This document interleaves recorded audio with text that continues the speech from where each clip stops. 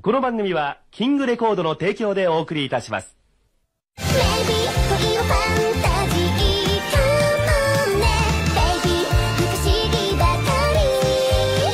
岡崎美穂3ヶ月連続配信リリース決定。第1弾デジタルシングル岡崎美穂ベイビーヒロイン各音楽サービスにて配信中。乾いた心に咲く花内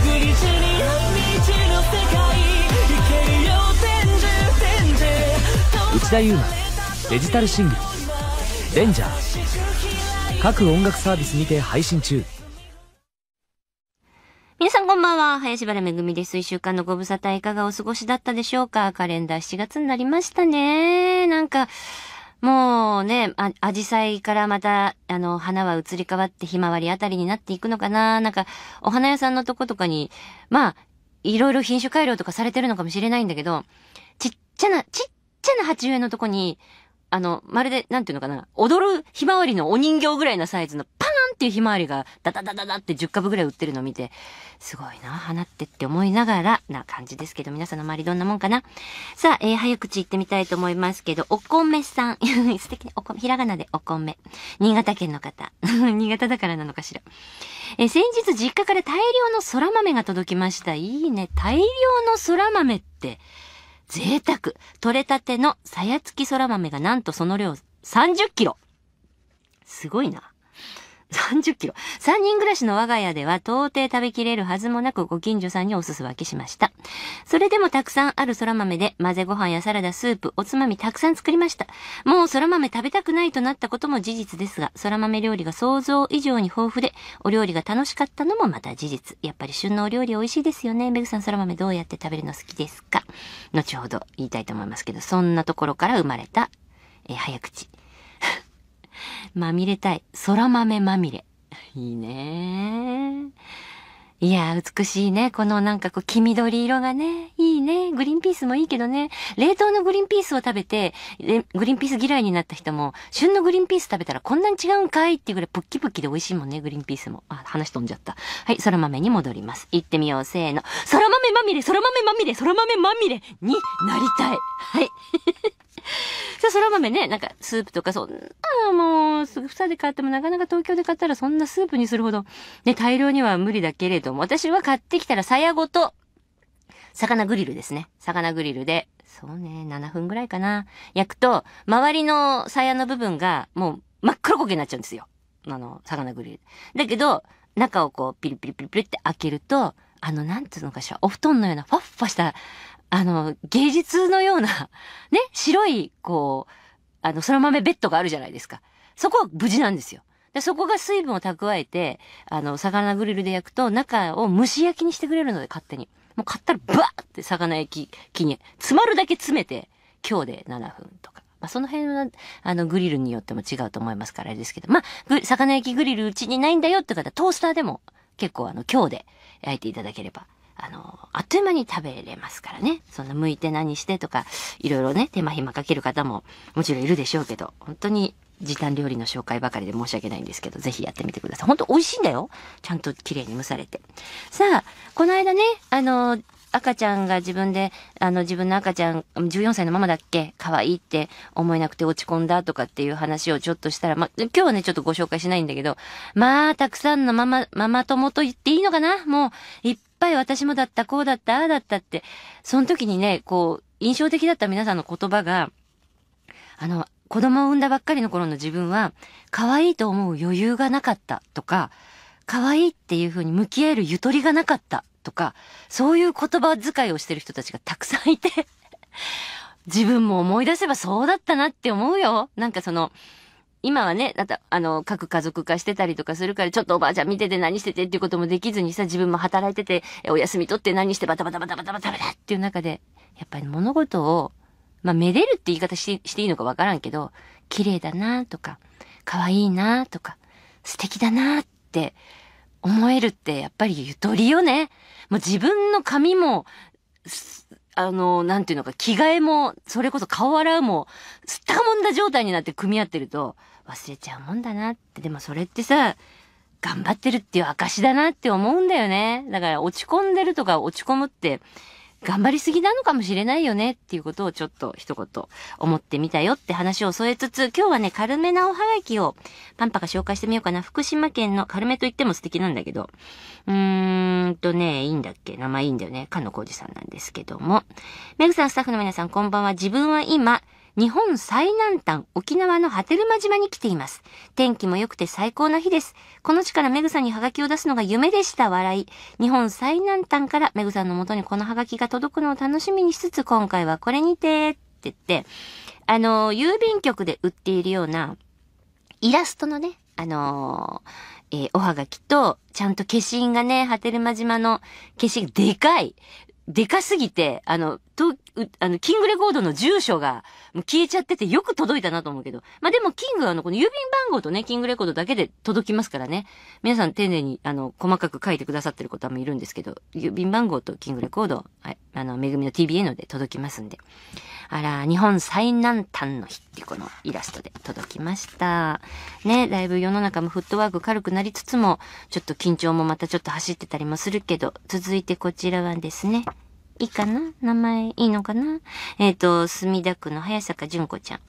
メグさん、スタッフの皆さん、こんばんは。今回初めての一人旅に行ってきました。久々と旅先のことを事前に調べていたら、オリーブ色のポストが近くにあることを知り、へえ、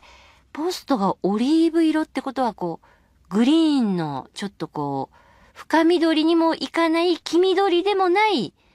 あの、食べるあのオリーブね。ね、知り、そこから送ることができると知り、今日行ってきました。香川県にあるあずき島というところです。街中は至るところにオリーブの木があり、ちょっと不思議です。またおはがき出します。っていうことで。なんかあの、水車小屋のような、水、え、違う、風車小屋みたいな、あの、道の駅、えー、あずき島オリーブ公園にこんなこう、風車があるのかな。えっ、と、例えて言うなら、ムーミンのお家みたいな感じな、とっても可愛らしい、なんていうのかしら。電力になるんかいおしゃれなんかい北欧なんかいっていう感じなんだけど、これが回って何かになってるんでしょうね、きっとね。オリーブの、こう、なんだろう、こう、ギューって絞るのをやってたりとかするのかしら。風力の。素敵な、こちらは、あのー写真の。なんかね、空がこう青くて、グリーンが綺麗で、ね、あのーちょっと、お見せできないのが残念ですけど、私が勝手に癒されております。さ、えー、おはがき、またまた続きます。メールじゃなくてね、今も2枚ともおはがきですけど、三重県の、こちらもいいのかな川向海さんって読めばいいのかしらからいただいておりますけれども。えっとね、花火がパンパンと打ち、えーブルーの花火とピンクの花火が打ち上げられていて、そこに、えービールジョッキが3つ。そして、えー、空豆ではなくて、これは枝豆かな？が、えっ、とね、ザルに盛られていて、手で触るとこう、なんていうのか、浮き上がってんの。こう。まあ、よく作るね、こういうハガキも。綺麗な夏らしい、もう初中お見舞い申し上げます的なおはがきですけど。メグさん、こんにちは。最近暑い日が多いですね。どうかお体大切に。えー今回選んだハガキについて。私の父はお酒が大好きなのですが、この間、今つまみにするために畑で枝豆を育てているんだよと得意げに話してくれました。自分で育てた枝豆をつまみに、えー、晩酌かそりゃ格段に美味しいお酒になるだろうなぁと、お酒が一切飲めない私はただただ想像していますが、とはいえ、無事に、えー、摂取できたら、えー私も一緒に食べるの楽しみです。っていうことで、三重県なんですけどね。えー、どう、畑で枝豆を、ってことは、ちゃんとスペースがあるんですね、きっとね。私、あの、昔、あのー賃貸で借りてた、えっと、住んでたお家が、なんかこう、庭と言っていいのかわからないぐらいの小スペースの土の、こう、場所があったのね。で、そこで、同じようなこと考えて、枝豆育ててみたんだけど、枝豆って、あ、私が育てたんじゃなくて、相方が育てたんだけど、本当に、こん、このスペースでこんなに育てたのに豆こんだけしか取れないんだっていうか、房はふしゃーって、緑の部分めっちゃ多いから、いやー、あの、大量大量って思ってプチプチプチプチって取ったら、なんだろう、手のひらに、両手のひらにすっぽり収まるぐらいの、あの、豆しか取れなくて、大変なんだなと思った。さらに枝豆ってあれなんだよね。こ、その時育てた土では、もう次の年は育たないらしい。その栄養のあり方とか。だから土をもう一回その耕し直して栄養分入れるとか、土ごとこうちょっとこう、奥からこうね、ひっくり返すとかしないといけないから、なかなか枝豆って育てるの大変だったりとかするようですけどね。さあ、あとは、あの、短めなっていうところで話がらりと変わりますけど、メールに行ってみたいと思います。奈良県のさぎりさんいつもありがとう。めぐさんこんばんは。先日、ベランダに吊るしてあった、吊るし型タイプの虫除けに、あ、あるね、虫粉とかいろんなやつね、あるよね。あの、なんだろう、こう、ハンガーみたいな形になってて、ちょっとこう、引っ掛けて、やるやつね。吊るし型タイプの虫除けに、虫が止まっていました。その虫はご存命だったってことよね。止まったまま、あー、なんで俺こんなとこ止まっちゃったんだろうって言ってお亡くなりだったわけじゃないんだよね。まだ最近吊るしたばかりなので効果は切れてないと思うのですが、虫除けなのに虫が止まってるーと思わず一人で突っ込んでしまいました。さん最近一人突っ込みしたことありますか？どうだろう？あるかな？まあ、まあ、ここで生存の確認が取れてないから、いまいち、なんとも言えないんだけど、あ、止まってる。あれ？ブーンって飛んでたら、だいぶやる気なくすな。でも、なんだろう、その虫除けに強い虫と、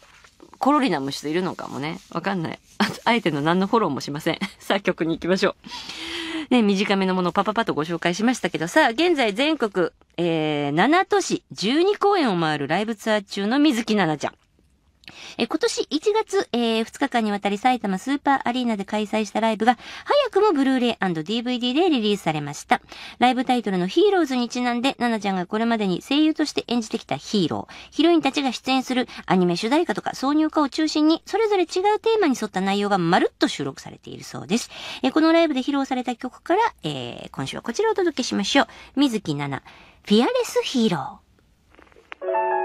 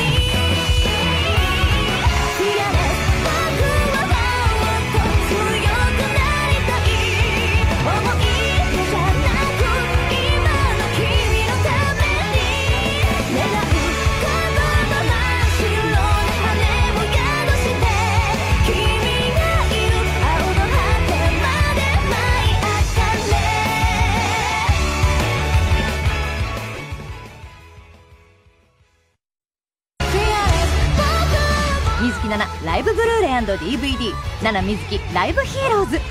ライトニングモードブレードモードと題し埼玉スーパーアリーナで行った全く異なる 2days ライブの模様を収録。キングレコードより発売中。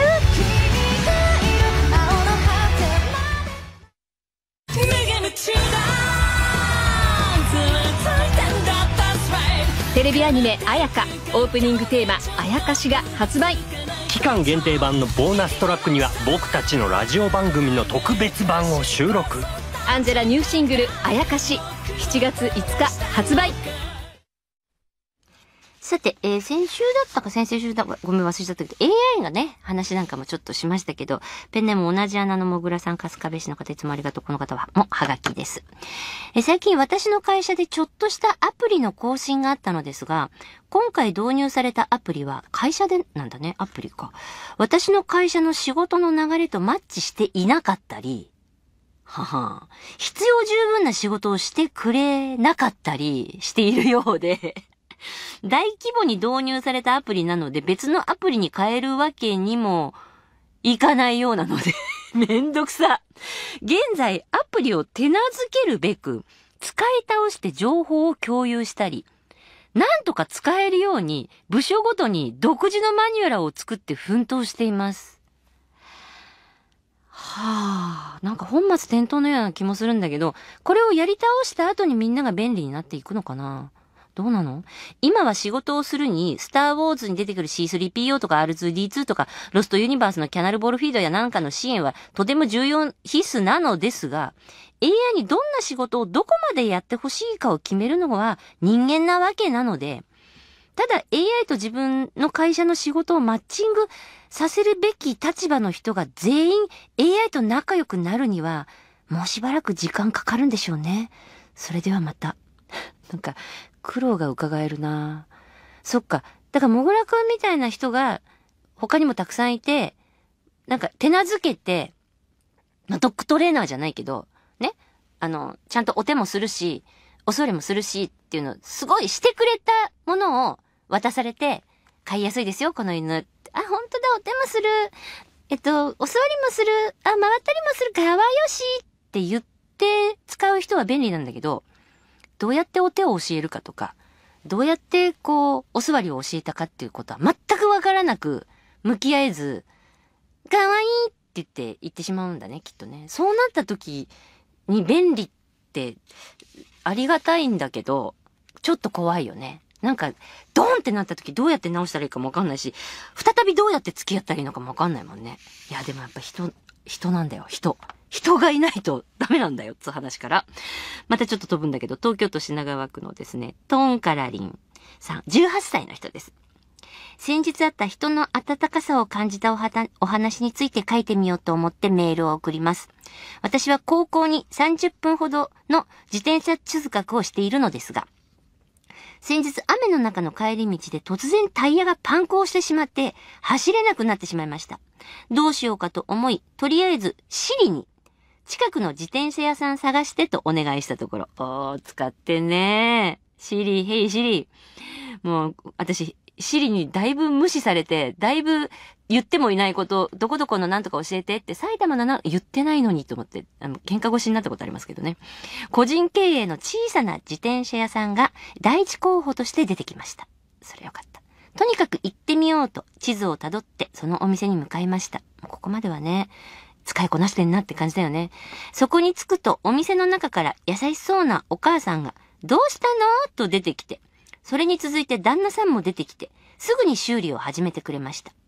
いつも自転車を直しに行くチェーン店の自転車屋さんだったら、修理が終わる頃に戻ってきてくださいと言われ、一度店から立ち去るのですが、このお店のお母さんに、濡れちゃうから座って座って、と席に案内され、そこで地元の中学校や、今通っている高校についてなど、様々なお話をしました。東京都品川区ですよ。途中でお菓子も出していただいて、最後には、受験頑張ってなんて言葉もいただきました。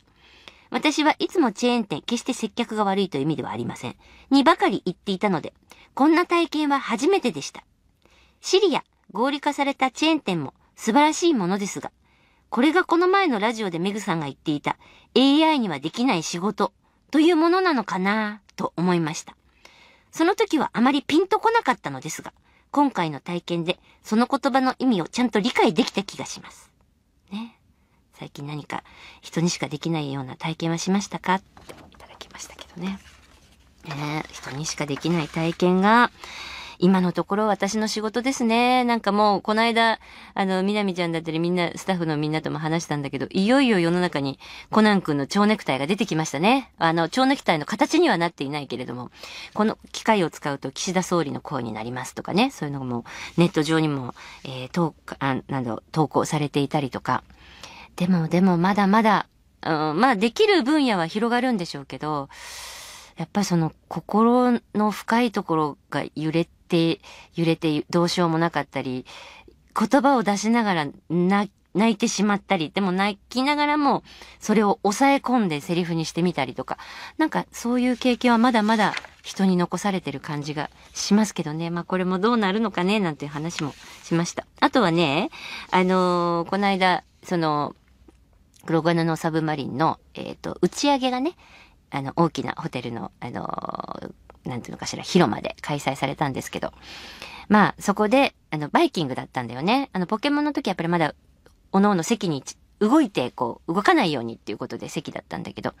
で、バイキングで、えっ、と、まあ、大先輩たちが一緒に座ってるわけよ。で、あの、あら、バイキングなんだっていう先輩の一言で、あ、こよしよしと思って、えっと、ローストビーフだったりとか、あとなんだろう、えー、なんだろう、パスタみたいなものとか、えー、お蕎麦みたいな、一人ずつのお蕎麦とかを、私はダーッと言って8個分ぐらいバーッと取ってきて先輩に配るみたいな。どうぞどうぞ。あ、メグごめん、ありがとうってベルモットさんに言われてクラクラするみたいなね。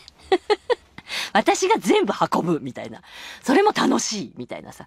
なんだったらもう私座ってたらきっとね、スタッフが運んできてもらえるキャリアまで行っていますよ。自分で言うのもなんですけど。でも、いや、いいよいや、メグ動くな動くなとかって言ってくれるつつも、そこに皆さんにお届けするのがちょっと楽しい自分みたいなこともやったりしてました。AI にはできる前、みたいな。なんだかわかんないけど。この、この状況の中で判断して勝手に動き回るみたいなね。まあ、それもコミュニケーションなんです。さて、えっ、とね、リクエストというわけではないんですけど、これを受けて書きたいと思います。あきさん、東京都中野区の方。ね、あの、この間中野サンプラザがね、閉じるっつって、その、記念品だったりとか、中野サンプラザがこんなもの出してますなんていうのとか、会議室で、えー、なんだ、オフ会みたいのしましたっていうのもありましたけど、そこからのまた自己報告で。6月11日同じ日に中野サンプラザのオフ会えしたものです。ね、いろんな方がお便りしてると思いますが、企画者なので、企画された方が直接、今回、お礼も兼ねてメールを送ります。えー公開録音やファーストライブの思い出がある中野サンプラザ、閉館する前にオフ会をと、3月に場所を予約。残念ながら宴会場は3月でクローズするとのことでしたが、えーグループ室とか会議室は6月までやってるということで日程を組み、11日となりました。DVD、ブルーレイを持っている方をお誘いし、ライブ上映会を企画。数人集まればいいかなと思ってましたが、約20人ほど集まり鑑賞しました。数年ぶりに見るライブはまた違った気持ちや感情が込み上げてきました。ライブ自体は変わっていないのに、それを受け取る自分が5年の時を経て変わってきてるということですね。そうなんだよね。あの時の感動と5年経ってみる感動ってまた違うでしょうね。えーそれと同時に当時の状況も思い出し、ファーストライブ自体もまた一つのあなたに会いに来てになったんだなと感じました。えーあの日という思い出に、えー、つながっておりますということで、なんか色紙もね、行った方からの寄せ書きなどもいただいておりますけど、まあご存知ない方もたくさんいると思うんですけど、まあ、イソジンを記念にというか、まあ、私はライブ活動を今後、あの、たくさんはやっていくようなことではなかったりとかするので、まあ、キングさんの、とのご依頼ね、いや、ぜひライブをということで、じゃあファーストで、もしかしたらファイナルになるかもしれないけど、ファーストライブってことで、やりますかと全部企画を、から、シナリオから、曲順から全部自分で考えて、まあ、私を見に来るのではなくて、それを見ていた当時の自分に会いに来てほしいなっっていうことで、今までかつてやってきたそのキング関係のアニメの主題歌だったり、まあちょっと寸劇のようなものをこう声で入れてみたりとかして、ああ、これ見てたわとか、多分今言ってもわかんないかもしれないけど、テレビがブラウン管だった時代にとか、録画なんてまだまだ、あの、予約録画がこんなに楽にポッポッポッと人差し指で、じゃない、親指でできなかった時代だったりとか、見たくて一生懸命走って帰ってきた時代だったりとか、それぞれいろんな時代、こんな風に見てたなっていうことを思い出してくれたらいいなっていうことで、やったライブなので、もし、10代の方でね、見たことがない方がいて、お小遣い貯まったら、まだ買えるのかな？ポチッとしていただければ、えーいいなと思いつつ、一番最初に登場してもらったのはミンキーモモちゃんでした。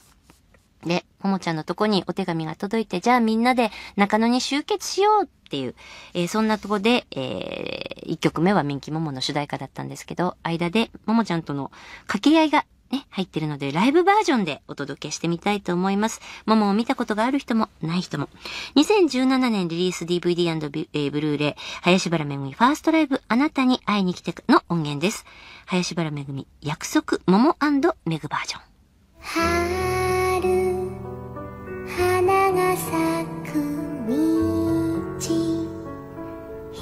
まり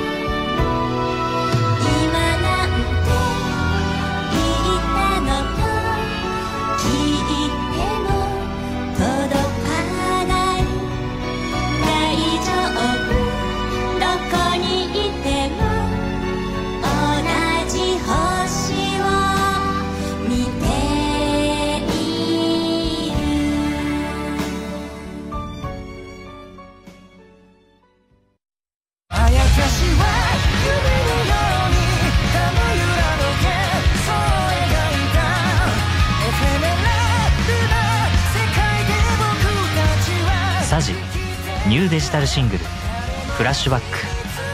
各種配信サイトにて配信中。蒼井翔太最新ライブブルーレイ発売。今年2月に両国国技館で開催したツアーファイナルの模様を収録。たくさんの感謝を込めたライブをぜひ映像でもお楽しみください。蒼井翔太ライブ2023ワンダーラボガーデン発売中。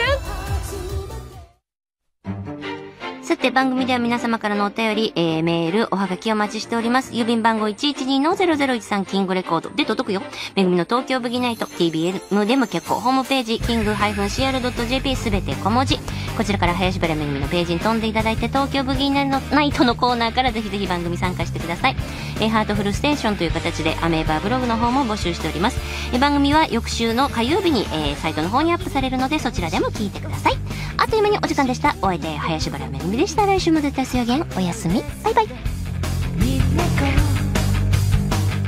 この番組はキングレコードの提供でお送りいたしました。スリルなような飛び出した。はいはいタクシー連れてって。